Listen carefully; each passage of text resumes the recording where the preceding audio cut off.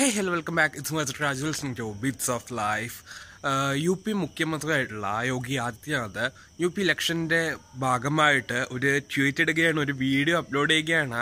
ഇതിൽ പറയുന്നത് ഇങ്ങനെയാണ്. ഈ വരുന്ന ഇലക്ഷനിൽ സൂക്ഷിച്ച് വോട്ട് ചെയ്തില്ലെങ്കിൽ നിങ്ങൾ ഈ ഒരു യു പിയെ ഒരു കേരളം പോലെയോ ബീഹാർ പോലെയോ അല്ലെങ്കിൽ കശ്മീർ പോലെയോ ആക്കുന്നതാണ്.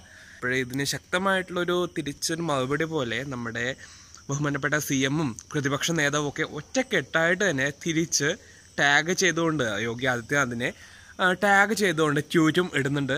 ഞാൻ ആ ട്യൂറ്റ്സൊക്കെ ഇവിടെ കാണിച്ചു തരാം കേട്ടോ. ഇതിൽ പറയുന്നത് ഇത്രയാണ്.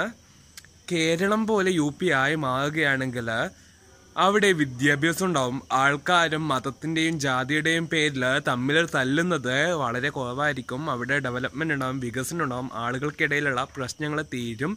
അങ്ങനെ അങ്ങനെയുള്ള കാര്യങ്ങൾ വെച്ചിട്ട് നമ്മുടെ മുഖ്യമന്ത്രി കുറച്ച് കാര്യങ്ങൾ പറയുന്നുണ്ട്. ഞാൻ ഇവിടെ ചൂറ്റി കാണിക്കാവുന്നതാണ്.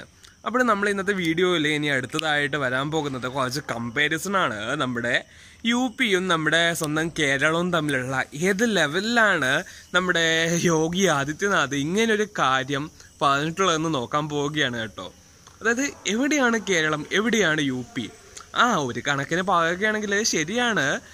ഇനി അടുത്ത തവണ സൂക്ഷിച്ച് വോട്ട് ചെയ്തില്ലെങ്കിൽ യു പി കേരളം പോലെ തന്നെയാകും കാരണം ഈ ഒരു യോഗി ആദിത്യനാഥിനെ ചവിട്ടി പുറത്താക്കുകയാണെങ്കിൽ ഏകദേശം സന്തോഷത്തോടെ സുഖത്തോടെ ഇത്തിരി കൂടി വികസനം കണ്ടുകൊണ്ട് യു പിക്ക് മുന്നോട്ട് പോകാം. ഇല്ലെങ്കിൽ അവിടെ തന്നെ കിടക്കും.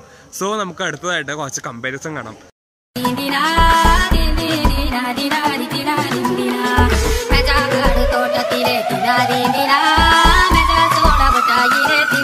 You know.